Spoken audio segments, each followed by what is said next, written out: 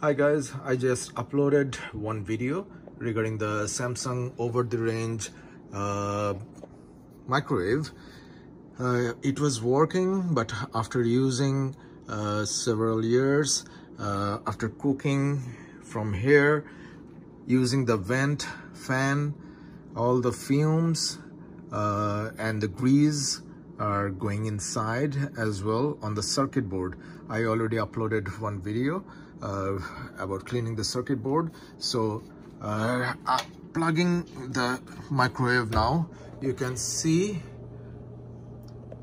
the light is on, enjoy and enjoy cooking. Okay, please press clock. So it started to work again. How about the light? Yep, the light is on. Dim, off. Vent. Vent is working at high speed. Then low speed. Then off. Using the microwave for one minute. Start. You can see everything is working perfectly just don't throw the over the range microwave if it starts uh, if it stopped working. Just all you need to do unscrew this one this one take this part off. Then after uh, taking this one off you will see one or two screw that is holding this part only this part. Un unscrew that then have to unscrew these two screw. And uh, there uh, you'll see the circuit board connecting uh, with the several wires.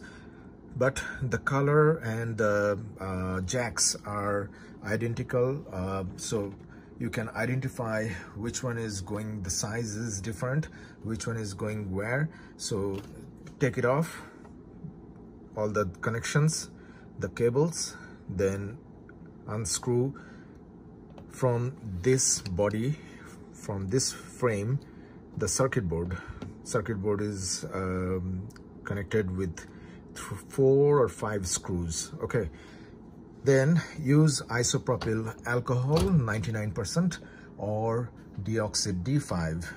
So not F5, D5, uh, it, it, will clean the circuit board. Then uh, enjoy. That's it for today. This is for the Samsung over-the-range microwave. Uh, the model number is SMH8165ST thank you for watching. Thanks for your time. Hope the video will be helpful for many of you out there. Thank you. Hope to see you soon. Take care. Bye